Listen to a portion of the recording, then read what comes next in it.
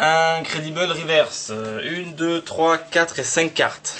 Alors vous savez pas ce que c'est, mais en fait ce sont des as. Ce sont des as de cœur. Ce sont des as vraiment assez magiques. Je vais vous les montrer. Hop. Ben parce que ce sont des as magiques et en plus j'ai que des as de cœur. Que des as de cœur ensemble, euh, c'est pas assez rare qu'on voit ça. hein. Et donc du coup je vais vous montrer. C'est assez bizarre, c'est que si je prends par exemple les as et que j'en retourne trois comme ça, en fait je les mets pêle-mêle. D'accord C'est-à-dire une face en l'air, une face en bas, une face en l'air, une face en bas. Et que je ferme comme ça, dès que je secoue et que je passe dans le point, tous les as redeviennent face en bas. Ça va vite hein? Je sais ce que vous avez pensé. Vous avez pensé que j'ai triché, que j'ai tourné toutes les cartes. Je vais vous le faire, mais au ralenti. Vous allez voir. Que les as. D'accord?